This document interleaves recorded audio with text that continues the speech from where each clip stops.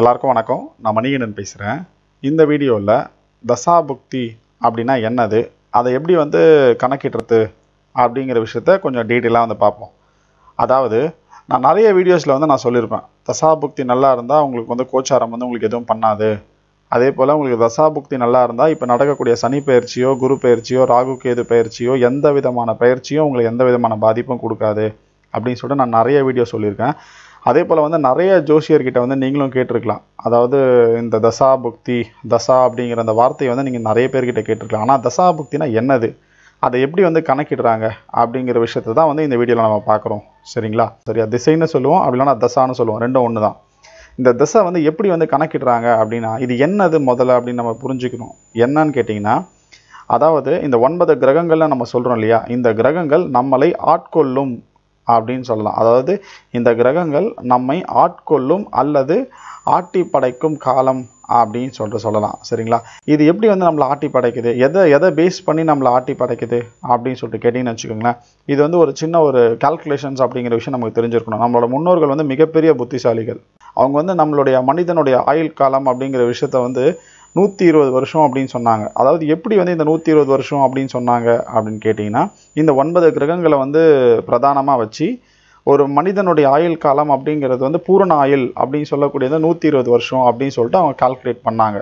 இது எப்படின்னு கேட்டிங்கன்னா சூரியனோட திசை அப்படிங்கிறது ஆறு வருஷம் வந்து சூரியனுக்காகவும் பின்னாடி இருக்கக்கூடிய இந்த சாட்டை பாருங்கள் சந்திரனுக்கு வந்து பத்து வருஷமாகவும் செவ்வாய்க்கு வந்து ஏழு வருஷமாகவும் புதனுக்கு வந்து பதினேழு வருஷமாகவும் குருவுக்கு பதினாறு வருஷமாகவும் சுக்கிரனுக்கு இருபது வருஷமாகவும் சனிக்கு பத்தொம்போது வருஷமாகவும் ராகுவுக்கு பதினெட்டு வருஷமாகவும் கேதுவுக்கு ஏழு வருஷமாகவும்.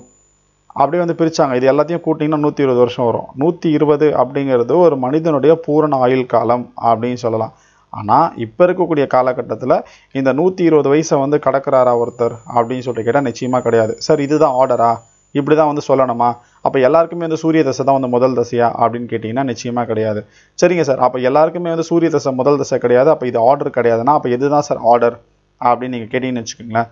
ரொம்ப சிம்பிள் உங்களுக்கு வந்து இந்த நட்சத்திரங்கள் வந்து உங்களுக்கு நான் நிறைய தடவை சொல்லியிருக்கேன். என்னோட பழைய வீடியோஸில் நீங்கள் பார்த்தீங்கன்னா நட்சத்திரத்தை பற்றி நான் உங்களுக்கு போட்டிருப்பேன். சரிங்களா? நட்சத்திரம் அப்படிங்கிறது இருபத்தி ஏழு நட்சத்திரங்கள். சரிங்களா?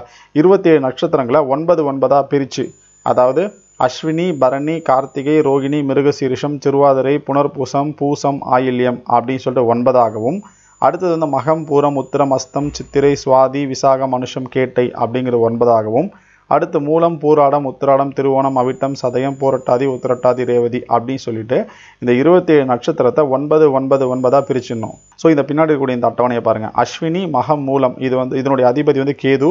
இவருடைய தசா ஆண்டு அப்படிங்கிறது ஏழு வருஷம். அதே போல் பரணி பூரம் பூராடம் இவருடைய அதிபதி வந்து சுக்குரன் இவருடைய ஆண்டு வந்து இருபது. கார்த்திகை உத்திரம் உத்திராடம் இதனுடைய அதிபதி சூரியன் இதனுடைய ஆண்டு ஆறு. அதே போல் ரோகிணி அஸ்தம் திருவோணம் இதனுடைய அதிபதி வந்து சந்திரன் ஆண்டு வந்து பத்தாண்டு. மிருகசீர்ஷம் சித்திரை அவிட்டம் இதனுடைய அதிபதி வந்து செவ்வாய் இவருக்கு வந்து ஏழு ஏழு வருஷம். திருவாதிரை சுவாதி சதயம் இதனுடைய அதிபதி வந்து ராகு இவருக்கு வந்து பதினெட்டு வருஷம். புனர்பூசம் விசாகம் பூரட்டாதி இவருடைய அதிபதி குரு பதினாறு வருஷம். பூசம் அனுஷம் உத்திரட்டாதி இதனுடைய அதிபதி சனி இதனுடைய ஆண்டு பத்தொன்பது. ஆயில்யம் கேட்டை ரேவதி இதனுடைய அதிபதி புதன் இதனுடைய ஆண்டு பதினேழு. சரிங்க சார் இந்த கால்குலேஷனை எப்படி நீங்கள் சொல்கிறீங்க அப்படின்னு கேட்டிங்கன்னா இதுக்கும் வந்து ஒரு விளக்கம் இருக்குது அதை நான் இன்னொரு வீடியோவில் சொல்கிறேன் அது வந்து கொ- கொஞ்சம் கொஞ்சம் அட்வான்ஸாக சொல்லக்கூடிய கணக்கு. அது வந்து இப்போ சொன்னால் நிச்சயமாக புரியாது. நான் நிச்சயமாக வந்து உங்களுக்கு நான் சொல்கிறேன் சரிங்களா? ஸோ இந்த டேப்லர் காலம் அதாவது இது பின்னாடி இருக்கக்கூடிய இந்த சார்ட்டை வந்து மனப்பாடமாக தெரிஞ்சு வச்சுக்கோங்க. அப்படி இல்லைன்னா இதை வந்து அப்படியே ஸ்டாப் பண்ணி இதை வந்து ஸ்க்ரீன்ஷாட் எடுத்து வச்சுக்கோங்க. சரிங்களா? இப்போது உங்களுக்கு வந்து ஜென்ம நட்சத்திரம்னா என்னன்னு தெரியும். அதாவது உங்களுடைய பிறந்த நட்சத்திரம் தான் உங்கள் ஜென்ம நட்சத்திரம். ஸோ உங்கள் நட்சத்திரம் என்ன உங்கள் உங்களுடைய ஜென்ம நட்சத்திரம் என்னன்னு உங்களுக்கு தெரியும். அப்படி தெரியாதவங்க நான் ஒரு வீடியோ போட்டிருப்பேன். ஜென்ம நட்சத்திரம் கண்டுபிடிப்பது எப்படி அப்படின்னு சொல்லிட்டு அந்த வீடியோ பாருங்கள் உங்களுக்கு நல்லாவே புரியும்.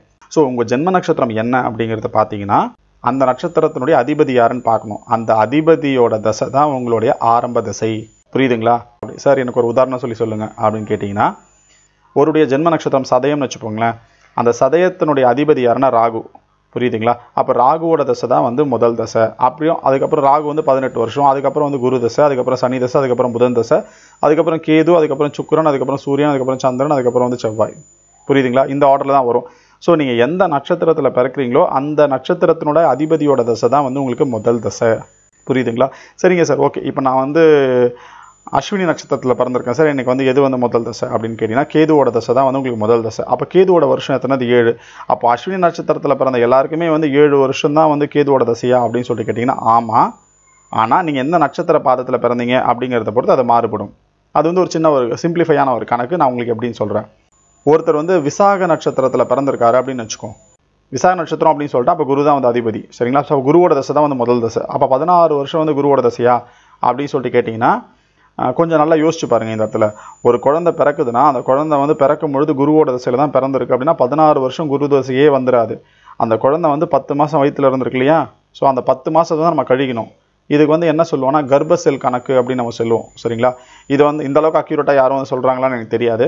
ஆனால் இதை கண்டிப்பாக வந்து கணக்கிடணும். அதாவது தாயோட கர்ப்பத்தில் எவ்வளோ வருஷம் வந்து கடந்தது அப்படிங்கிறத பொறுத்து தான் தசா இருப்பு அப்படிங்கிற விஷயத்தை எழுதுவாங்க. ஜாதக கட்ட நோட்டில் எடுத்து பார்த்தீங்கன்னா நிச்சயமாக இந்த விஷயம் வந்து இருக்கும். இப்போ வந்து நிறைய பேர் வந்து சொல்கிறாங்க அதாவது உங்களோட தசா இருப்பு அப்படின்னு சொல்கிறாங்களே தவிர கர்ப்ப செல் அப்படிங்கிறது யாரும் சொல்கிறது கிடையாது. புரியுதுங்களா? ஸோ உங்களோட தசா இருப்பு என்ன அப்படிங்கிறத தெரிஞ்சு கர்ப்பத்தில் வந்து பத்து மாதம் போதுன்னு வச்சுக்கோங்களேன். அப்போது பதினாறு வருஷத்தில் பத்து மாதம் கழிச்சா பேலன்ஸ் எவ்வளோ இருக்குது அப்படின்னு கேட்டிங்கன்னா பதினஞ்சு வருஷம் ரெண்டு மாதம் வரும். ஸோ இதை அப்படியே போட்டுக்கலாமா? அப்படின்னு சொல்லிட்டு கேட்டிங்கன்னா அதுலேயும் ஒரு சின்ன ஒரு கால்குலேஷன்ஸ் இருக்குது அதாவது இவங்க வந்து முதல் பாதத்தில் பிறந்திருக்காங்கன்னா முதல் பாதத்தில் அந்த பத்து மாதத்தை கடந்து எத்தனை வருஷம் எத்தனை மாதம் எத்தனை நாள் அப்படிங்கிறத கொஞ்சம் அக்யூரேட்டாக வந்து நம்ம கால்குலேட் பண்ணி எடுக்கணும். புரியுதுங்களா? அதுதான் வந்து குரு அதுதான் வந்து குரு தசையோடைய ஆரம்பம் அப்படின்னு சொல்லலாம். சரிங்க சார் ஓகே. ஏன் வந்து இதை வந்து தசாசில் எடுக்கணும்? எதுக்கு வந்து இந்த கர்ப்பசில் எடுக்கணும் அப்படின்னு நீங்கள் கேட்டிங்கன்னு வச்சுக்கோங்களேன். ரொம்ப சிம்பிள். அதாவது நம்மளுடைய ஜாதகமே வந்து பார்த்திங்கன்னா பூர்வ புண்ணியத்தை வந்து பேஸ் பண்ணி தான் வந்து நம்ம ஜாதகமே எழுதுறோம்.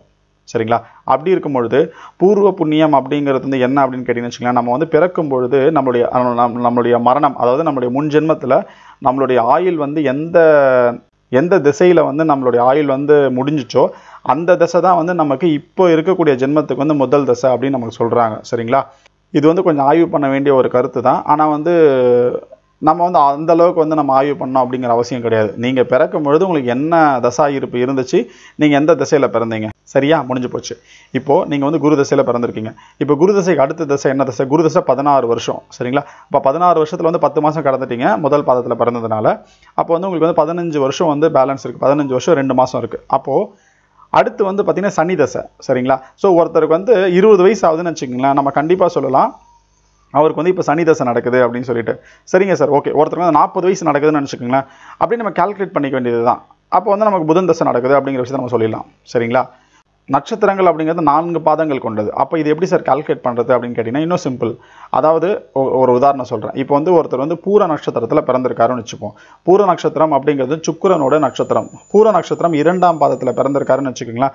அப்போ ஃபஸ்ட்டு பத்து வருஷம் அப்படிங்கிறத கழிச்சிடணும். பேலன்ஸ் பத்து வருஷம் தான் அவரோட தசா இருப்பு. அந்த பத்து வருஷத்தில் பத்து மாதத்தை கடந்துட்டா பேலன்ஸ் என்ன இருக்கோ அதுதான் வந்து அவருடைய தசா இருப்பு. புரியுதுங்களா? அதுக்கப்புறம் வரது எல்லாமே அவரோட வயதை வயதை வந்து ஆட் பண்ணிகிட்டே வர வேண்டியதான் சுக்கிரனுக்கு அப்புறம் சூரியன் வந்து ஆறு வருஷம் அதுக்கப்புறம் சந்திரன் வந்து பத்து வருஷம் அதுக்கப்புறம் செவ்வாய் வந்து ஏழு வருஷம் அதுக்கப்புறம் ராகு வந்து பதினெட்டு வருஷம் அப்படின்னு சொல்லிட்டு நம்ம கால்குலேட் பண்ணிகிட்டே வரணும். இதுதான் வந்து தசா எப்படி கணக்கு பண்ணுறது அப்படின்னு சொல்கிறது புரியுதுங்களா? சரி இப்போ வந்து தசா புக்தின்னு சொல்கிறாங்களே அது என்ன சார் அப்படின்னு கேட்டிங்கன்னு வச்சுக்கோங்களேன். இப்போ வந்து இது பெரிய தசை. அதாவது சுக்கிர தசை இருபது வருஷம்னா இருபது வருஷம் அப்படிங்கிறது பெரிய தசை. சூரியன் அப்படிங்கிறது ஆறு வருஷம்னா அது வந்து பெரிய தசை. பெரிய தசை. அதே மாதிரி சந்திரன் அப்படிங்கிறது பத்து வருஷம்னா அது வந்து பெரிய தசை. செவ்வாய் அப்படிங்கிறது ஏழு வருஷம்னா அதுவும் பெரிய தசை. இப்போது இந்த பத்து வருஷம் இந்த ஏழு வருஷத்துக்கு உள்ளே வந்து பார்த்திங்கன்னா புக்தி அப்படிங்கிற விஷயம் நடக்கும். அது என்னென்னா இதே தான். அதாவது இந்த கேது சுக்கரன் சூரியன் சந்திரன் செவ்வாய் ராகு குரு சனி புதன். இதுதான் வந்து ஆர்டருங்க இந்த ஆர்டர் எப்பவுமே மாறாது. எந்த தசை வந்து அவங்களுக்கு ஆரம்பிக்குதோ இப்போ உதாரணத்துக்கு செவ்வாய் தசை ஆரம்பிக்குதுன்னு வச்சுங்களேன் செவ்வாய் தசை செவ்வாய் புக்தினா ஃபஸ்ட்டு வந்து செவ்வாய் புக்தி தான் வரும். அதுக்கப்புறம் வந்து ராகு புக்தி வரும் அதுக்கப்புறம் குரு புக்தி வரும் அதுக்கப்புறம் சனி புக்தி அதுக்கப்புறம் புதனோட புக்தி அதுக்கப்புறம் கேதுவோட புக்தி அதுக்கப்புறம் சுக்கரனோடது அதுக்கப்புறம் சூரியன் அதுக்கப்புறம் சந்திரன் அவள் தான் முடிஞ்சிச்சு அந்த தசா புக்தி வந்து முடிஞ்சிருச்சு. அடுத்து வந்து ராகு தசை நடக்குதுன்னு வச்சுங்களேன் ராகு தசையில் ராகு புக்தி தான் ஃபஸ்ட்டு ஸோ ராகு புக்திக்கு அப்புறம் குரு புக்தி அப்புறம் சனி புக்தி அப்புறம் புதன் புக்தி அதுக்கப்புறம் கேதுவோட புக்தி அதுக்கப்புறம் சுக்கரனோட புக்தி அதுக்கப்புறம் சூரியன் அதுக்கப்புறம் சந்திரன் அதுக்கப்புறம் செவ்வாயோட புக்தி அதுக்கப்புறம் அந்த ராகு தசைங்கிறது முடிஞ்சிச்சு புரியுதுங்களா? ஸோ இப்படி தான் நம்ம கால்குலேட் பண்ணோம். சரிங்க சார் புத்தி எப்படி கால்குலேட் பண்ணணும் அப்படின்னு கேட்டிங்கன்னு வச்சுக்கோங்க அதுவும் வந்து ஒரு ஒரு பெரிய சப்ஜெக்ட் டெஃபினட்டாக வந்து அடுத்த வீடியோ நான் போடுறேன். பண்ணுறது அதாவது புக்தி எப்படி கால்குலேட் பண்ணுறது அப்படிங்கிறது நான் அடுத்த வீடியோவில் நான் போடுறேன். இப்போ நீங்கள் தெரிஞ்சுக்க வேண்டியது உங்களுக்கு என்ன தசை நடக்குது அப்படிங்கிற விஷயம் தான் சரிங்களா? அதுதான் ஒரு மோஸ்ட் இம்பார்ட்டன்ட் அப்படின்னு சொல்லியிருந்தேன். சரி இதுக்கப்புறம் சூட்சமம்னு ஒன்று இருக்குது சரிங்களா? அது என்னன்னு கேட்டிங்கன்னு வச்சுங்களேன் தசா ஒன்று புக்தி ஒன்று அதுக்குள்ளே வந்து அந்தரம்னு ஒன்று வரும். சரிங்களா? அதுக்குள்ளே வந்து இப்போ சூட்சமம் அப்படின்னு ஒன்று வரும். ஸோ இது இந்த அளவுக்கு நம்ம போனோம் அப்படின்னா ஓரளவுக்கு நம்ம அக்யூரேட்டாக வந்து ப்ரொடிக்ஷன்ஸ் வந்து கொடுக்க முடியும். புரியுதுங்களா? ஸோ இதுதான் வந்து உங்களோட தசா கால்குலேஷன்ஸ்க்கு உண்டான ஒரு வீடியோ இந்த வீடியோ உங்களுக்கு பிடிச்சிருந்தா லைக் பண்ணுங்கள் உங்கள் மற்ற எல்லா நண்பர்களுக்கும் ஷேர் பண்ணுங்கள் இந்த சேனலை இது வரைக்கும் சப்ஸ்கிரைப் பண்ணலன்னா மறக்காமல் சப்ஸ்கிரைப் பண்ணுங்கள் இதே போல் பல சுவாரஸ்யமான விஷயங்களை நான் உங்களோட ஷேர் பண்ணிக்கிறேன். என்கிட்ட உங்களுக்கு கன்சல்டேஷன் வேணும் அப்படின்னா பின்னாடி ஸ்க்ரீனில் இருக்கக்கூடிய நம்பருக்கு எனக்கு கால் பண்ணுங்கள் என்னோட வாட்ஸ்அப் நம்பர் கொடுத்துருக்கேன். தாராளமாக நீங்கள் எனக்கு வாட்ஸ்அப் பண்ணுங்கள் என்னோட இமெயில் ஐடியும் கொடுத்துருக்கேன். தாராளமாக நீங்கள் எனக்கு இமெயிலும் பண்ணலாம். நன்றி. வணக்கம்.